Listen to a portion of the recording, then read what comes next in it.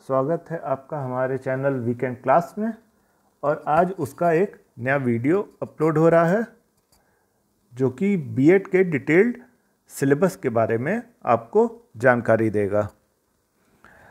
हमारे पिछले वीडियो में हमने चर्चा की थी बीएड के इम्पोर्टेंस के बारे में कि बीएड क्यों करना ज़रूरी है। अगर वो आपने वीडियो नहीं देखा था तो उसका लिंक हम अपने डिस्क्रिप्शन में डाल रहे हैं। प्लीज़ डू वॉच इट अब सिलेबस के बारे में आते हैं। तो जैसे मैंने बताया था कि दो सेशंस होते हैं। एक मॉर्निंग होता है और एक इवनिंग सेशन होता है। अब मॉर्निंग सेशन और इवनिंग सेशन दोनों के दो पार्ट होते हैं। तो मॉर्निंग सेशन में जो पार्ट होते हैं, उसका जो पहला पार्ट होता है, वो होता है जीए के और जीके में जो डिटेल सिलेबस है वो आपको बताते हैं। उसके बाद दूसरा जो पार्ट होता है, वो हिंदी ऑब्लिक इंग्लिश का होता है। अब इसमें क्या है कि अगर आप कुछ बच्चे जो होते हैं, जो यूपी बोर्ड के होते हैं, या जिनका बैकग्राउंड जो होता है, वो गाँव गाँव से होता है या रूरल बैकग्राउंड होता है तो अगर वो अपने आप को इंग्लिश में कंफर्टेबल नहीं समझते हैं या इंग्लिश उन्हें कठिन लगती है तो वो हिंदी में उसको अटेम्प्ट कर सकते हैं। और हिंदी के पचास क्वेश्चन उठाइए, वो भी वही सौ नंबर देंगे जो इंग्लिश के सौ नंबर देंगे। और इंग्लिश के जो स्टूडेंट्स हैं, वो भी पचास अपना उठाएँ, हिंदी का उन्हें उठाने की ज़रूरत नहीं है, क्योंकि एक बार जो उठा लिया, वही आपको देना है। तो पचास पचास क्वेश्चन जो हैं, आप उसके कीजिए, ये पचास प्लस एक जीके के पचास तो टोटल आपके सौ क्वेश्चन हो जाएँगे और ये आपका दो सौ नंबर हो गया। दूसरा जो पोर्शन होता है पेपर टू ये जो इवनिंग वाले सेशन में होता है, इसमें एक होता है जनरल एप्टीट्यूड का और एक होता है किसका? सब्जेक्ट का। अब सब्जेक्ट में कौन सा है? जैसे आपने ग्रेजुएशन जिस सब्जेक्ट में किया है, वो इसमें पूछा जाएगा। जैसे अगर आपने आर्ट्स में किया है तो आर्ट्स पूछा जाएगा कॉमर्स से किया है तो उसमें कॉमर्स रिलेटेड क्वेश्चन पूछे जाएँगे। साइंस से किया है तो आपसे साइंस पूछी जाएगी। और साइंस का जो स्तर होगा, इन सारे सब्जेक्ट में जो स्तर होता है, वो बहुत ज़्यादा नहीं होता है। एक ऐसा होता है जिसमें जनरल समझ आपकी जो है, उस सब्जेक्ट की वो टेस्ट की जाती है। और एग्रीकल्चर होता है, जो इंजीनियरिंग और ये सब टेक्निकल बैकग्राउंड के स्टूडेंट होते हैं, उनसे भी साइंटिफिक क्वेश्चन ही पूछे जाते हैं, जो साइंस के स्टूडेंट से भी पूछे जाते हैं तो वो जनरल क्वेश्चन होते हैं। वो भी पचास नंबर का होता है तो ये पचास प्लस ये पचास मिलकर के भी सौ नंबर हो गया और ये दो सौ नंबर हो गया सौ क्वेश्चन और दो सौ नंबर ये हो गया। तो टोटल आपके चार सौ यहाँ पर नंबर हो जाते हैं। अब इनके अलग अलग जो है सिलेबस के बारे में डिस्कस कर लेते हैं। जीके जो है, जीके में हिस्ट्री आता है। हिस्ट्री जान लीजिए कि बहुत इम्पोर्टेंट है। सब जितने भी कम्पिटिटिव एग्जामिनेशन होते हैं, हिस्ट्री ज़रूर आता है।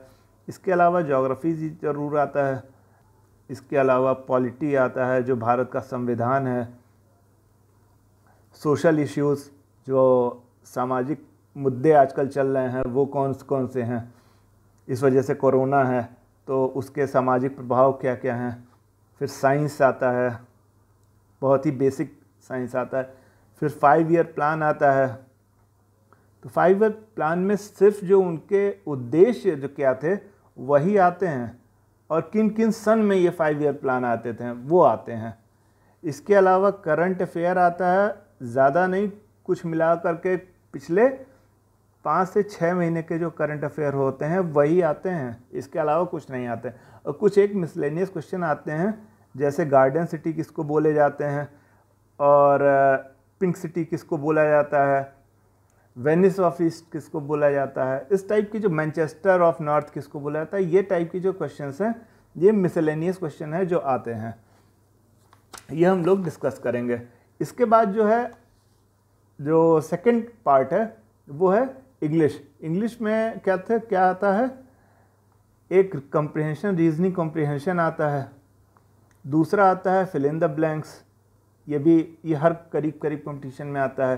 फिर एरर करेक्शन आता है। एक सेंटेंस में कोई एरर होगा, वो आप लोग को बोल दिया जाएगा कि करेक्ट कीजिए कौन सा है और उसको सही फाइंड आउट करके उसको करेक्ट कीजिए। फिर एंटोनिम और सिनोनिम आता है। और इसके अलावा ईडियम्स आते हैं और फ्रेजेज आते हैं। फिर आपका आता है वन वर्ड सब्सटीट्यूशन एक लाइन दे दी जाएगी तो उसको आपको समझ करके उसको एक लाइन से सब्सटीट्यूट करना पड़ेगा। अब ये तो हो गया इंग्लिश का सिलेबस अब हिंदी का क्या सिलेबस है? अब हिंदी में क्या आता है? एक तो आता है आपको संधि। संधि के अलावा समास भी आता है। ये बहुत इम्पोर्टेंट है। इसके अलावा उपसर्ग आता है, प्रत्यय आता है, फिर रस आता है, ये ज़रूर आप लोग पढ़ लीजिएगा, छंद आता है। बहुत कठिन नहीं आता है, लेकिन आता सब है, अलंकार आता है। सब में से कुछ ना कुछ आपको क्वेश्चंस ज़रूर दिए जाएँगे। इसके अलावा मुहावरे आते हैं फिर लोकोक्तियाँ आती हैं और ये जो देसी कहावतें होती हैं, वो आती हैं। इसके अलावा गद्यांश आता है। फिर व्याकरण आता है, हिंदी व्याकरण ज़रूर पढ़ लीजिएगा, हिंदी व्याकरण आता है। फिर पर्यायवाची शब्द आते हैं। और विपरीत तार्थिक जो शब्द होते हैं, वो भी आते हैं। मतलब एक शब्द का दूसरे शब्द के सिमिलर वर्ड कौन सा है और एक जो है उसका अपोजिट वर्ड कौन सा है, वो उसका विपरीतार्थक वर्ड हुआ। अब इसके बाद जो आता है, वो सेकंड पेपर है और सेकंड पेपर में आता है जनरल एबिलिटी मतलब जो सामान्य आपका जो ज्ञान है, वो टेस्ट होता है कि कितने आप, की बुद्धि जो है, वो कितनी विकसित है। तो इसमें आता है एनालॉजी ये आप लोग को पढ़ाई जाएगी एनालॉजी ये आएगा, बहुत ही आसान है। फिर कोडिंग और डिकोडिंग ये आता है। ये करीब करीब हर कंपटीशन एग्ज़ाम में आता है। कोई भी ऐसा कम्पिटेटिव एग्ज़ाम नहीं है जिसमें कोडिंग डिकोडिंग नहीं आता है।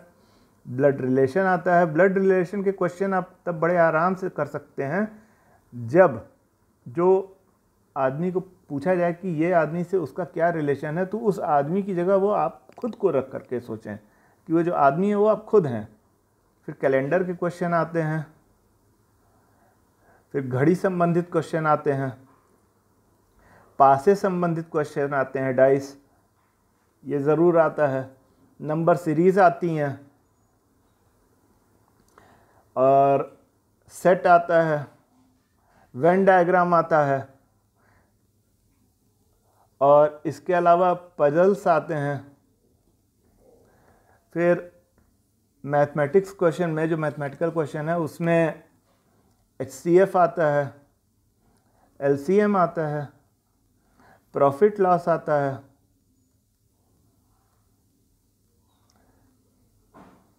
और कंपाउंड इंटरेस्ट और सिंपल इंटरेस्ट आता है।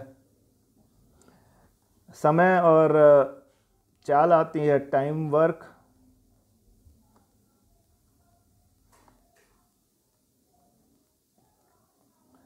और क्या कहते हैं परसेंटेज आता है कि इसका परसेंटेज निकालिए, ये कितने का इतना है। तो ये परसेंटेज आता है, फिर सरलीकरण जिसको बोलते हैं सिंप्लीफिकेशन वो भी आता है। और बहुत ही आसान आसान क्वेश्चन आते हैं। तो ये पचास नंबर के आते हैं। तो ये पचास गुड़े दो, सौ नंबर हो जाता है। इसके अलावा जो सब्जेक्ट आपका है, वो आता है।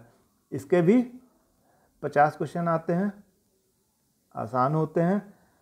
तो अगर आप सब्जेक्ट में आप रखिए लक्ष्य अपना पैंतीस नंबर का तो अगर पैंतीस क्वेश्चन इसमें कर ले जाते हैं तो सत्तर नंबर इसमें से आपको बहुत आसानी से हो जाएगा। और जो पहला जीके है, ये पैंतीस बड़े आराम से हम आपको करवा देंगे। तो सत्तर गुड़े दो कितना हो जाता है? एक सौ चालीस। हिंदी या इंग्लिश जो आप लोग का है अपना सब्जेक्ट उसमें आप करिए कम से कम तीस। ये 140 और 60 कितना हो गया? 200 अब बी, बचा बीस। बीस तो बड़े आराम से आप लोग किसी भी सेक्शन से कर सकते हैं। ये हम लोग आज सब्जेक्ट के सिलेबस के बारे में बात कर लिए जो बीएड में आने वाला है। आने वाले जो वीडियो है, उसके बारे में हम बात करेंगे हिस्ट्री के सिलेबस के बारे में और हिस्ट्री के क्वेश्चंस के बारे में बात करेंगे। तो आने वाले वीडियो को ज़रूर देखिएगा और सब्सक्राइब कीजिएगा।